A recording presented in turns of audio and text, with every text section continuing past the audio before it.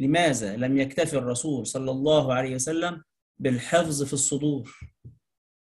ليه التعب ليه العظام عظام الأكتاف ليه العسب ليه اللخاف وليه النبي صلى الله عليه وسلم يدعو الصحابة وتعالوا اكتبوا والصحابة ينقل بعضهم من بعض؟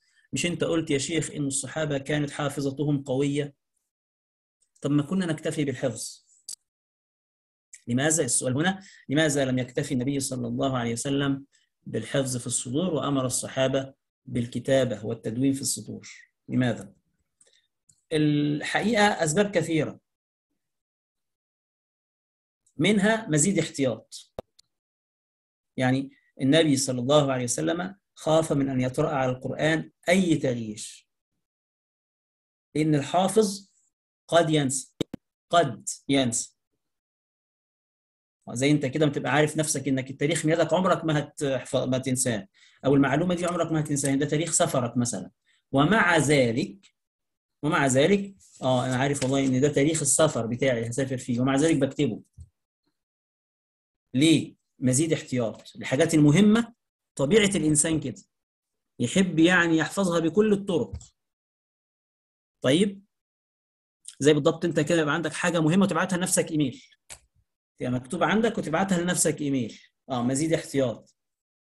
طيب ده أمر. الأمر الثاني أو السبب الثاني.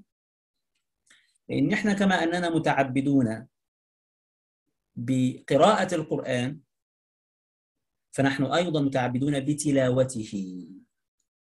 والتلاوة لا تكون إلا من مكتوب. يعني لما ربنا يقول ورتل القرآن ترتيلا.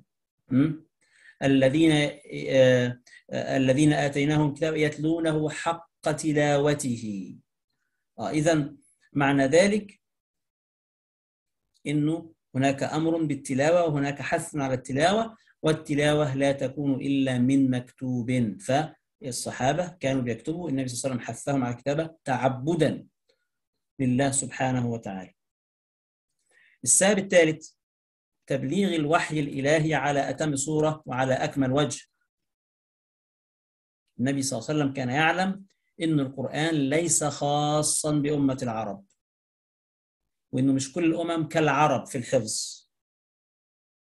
فكان النبي صلى الله عليه وسلم يريد أن يبلغ دين الله سبحانه وتعالى للعالمين فأمر الصحابة رضي الله عنهم بكتابته حتى يبلغ الناس مكتوبا مقروءا آه وبهذا يتم البلاغ على أتم وجه. إذا لماذا أو ما الباعث على كتابة القرآن في عهد النبي صلى الله عليه وسلم؟ مزيد احتياط التعبد تبليغ الوحي على أتم على أتم صورة